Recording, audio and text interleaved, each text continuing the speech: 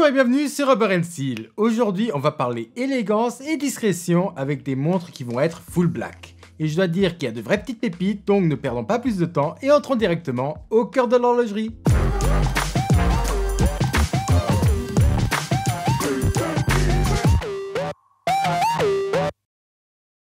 On va commencer par la montre la moins chère pour aller jusqu'à la montre la plus chère qui est aussi la plus folle d'entre elles, du moins pour moi.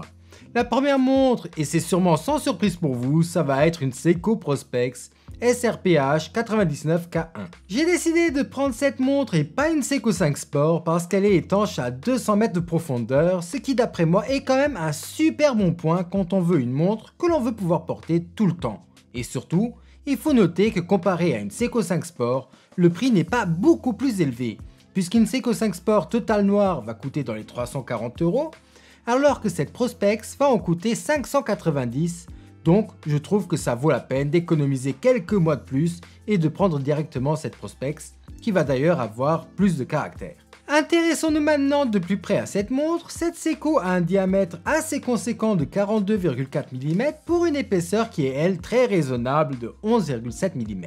Après, il faut dire que ce diamètre ne doit pas vous faire peur pour autant, puisque comme la montre a de toutes petites cornes, elle se portera plutôt comme une 41 voire une 40 mm de diamètre. Le boîtier de la montre est en acier inoxydable qui a un revêtement en titane carboné. On va avoir un guichet date qui va être placé entre 4 et 5 heures, un verre saphir et de grandes aiguilles et index des heures remplis de produits luminescents afin de rendre cette montre parfaitement lisible dans le noir. Malgré le fait que cette montre est une montre de plongée avec une lunette tournante unidirectionnelle, elle ne va pas avoir d'indication des minutes sur celle-ci.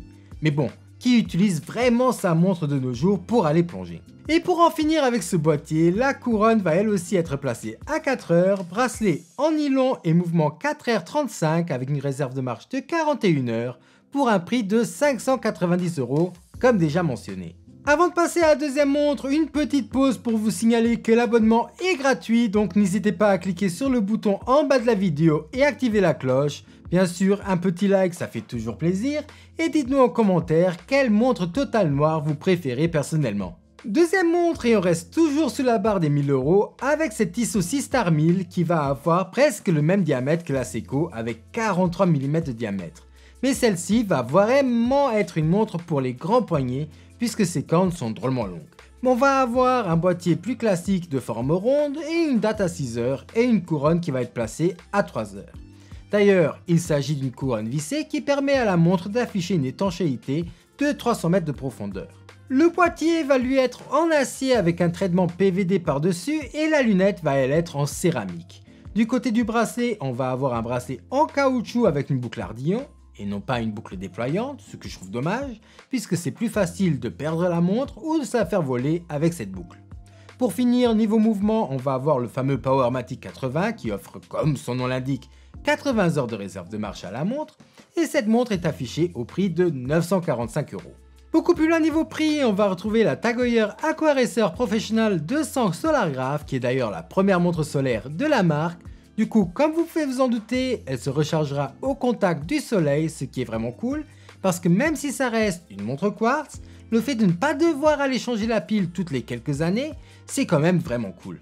La montre a un diamètre de 40 mm, elle est étanche à 200 mètres de profondeur, elle a un guichet date à 3 heures et est montée sur un bracelet en caoutchouc avec une boucle déployante. Le point qui est vraiment cool, c'est la manière dont la montre va prendre vie le soir avec une luminescence qui ne s'arrête pas aux index et aux aiguilles, mais qui va faire illuminer toute la lunette avec un joli motif. Prix de cette montre, 3100 euros. Maintenant, on va passer à l'une de mes montres préférées de chez Longines avec la Longines Legend Tiver.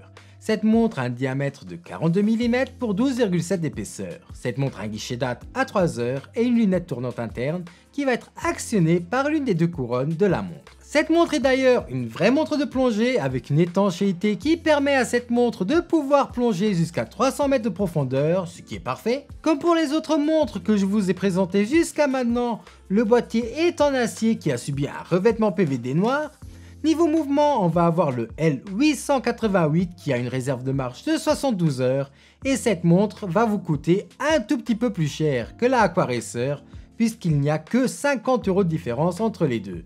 Et donc cette montre coûte 3150 euros. Avant-dernière montre avec cette Omega Seamaster Diver 300 et je sais que certains vont se demander pourquoi je n'ai pas choisi la Black Black. Et bah c'est assez simple. C'est parce que je trouve qu'elle n'est pas assez lisible à mon goût et le manque de contraste la rend un peu fade. On a la montre la plus grande de la vidéo avec un diamètre de 43,5 mm et avec un corne à corne de 51,5 en plus de ça, elle est drôlement épaisse avec 14,3 mm d'épaisseur et donc cette montre est faite pour les très grands poignets. Le boîtier de cette montre est en céramique noire et en titane grade 5. Elle est étanche à 300 mètres de profondeur et malheureusement cette montre n'a pas de date. Réserve de marge de cette montre 55 heures et elle est affichée au prix de 9900 euros. Dernière montre, et quelle montre puisqu'il s'agit de la Zenith Defy Skyline Squelette que je trouve tout simplement splendide. 40 mm de diamètre, cadran squeletté, petite seconde à 6 heures qui va être un indicateur au dixième de seconde. Le boîtier est entièrement en céramique ainsi que le bracelet et pour profiter à fond du système de changement de bracelet rapide, ils offrent avec la montre un deuxième bracelet qui va lui être en caoutchouc.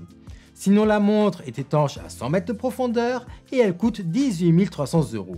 Après, si vous aimez la montre mais pas le squelettage, vous avez aussi la version en 41 mm de diamètre avec date à 3 heures pour 16 100 euros qui est elle aussi magnifique. Voilà pour aujourd'hui, la semaine prochaine on reviendra sur les sorties horlogères du mois de septembre, donc si vous aimez les montres et voulez être au courant des dernières news, abonnez-vous et activez la cloche. Et moi je vous dis à la semaine prochaine, au revoir